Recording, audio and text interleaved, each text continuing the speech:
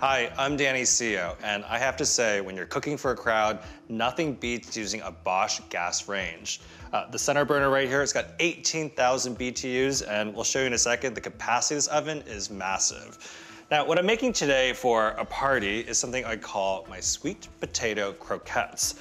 And I boiled up some sweet potatoes here, and it's one of my favorite recipes from my brand new cookbook, Naturally Delicious. It's called a sweet potato croquette. What you wanna do is cook some sweet potatoes, and if you stick a paring knife through one of them, you can see pretty perfectly cooked.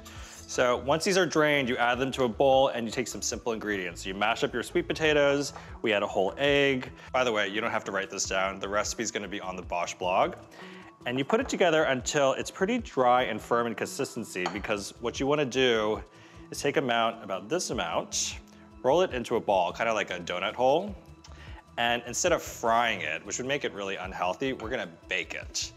And to give it a little bit of extra crunch, I just roll this sweet potato croquette in some breadcrumbs. We put it on our baking sheet right here, and that's it. So I'm gonna pop them in the oven at 400 degrees. Look at the capacity in here. I could do multiple layers of these sweet potato croquettes. And as these are baking up, I've got one already finished right here in the warming drawer.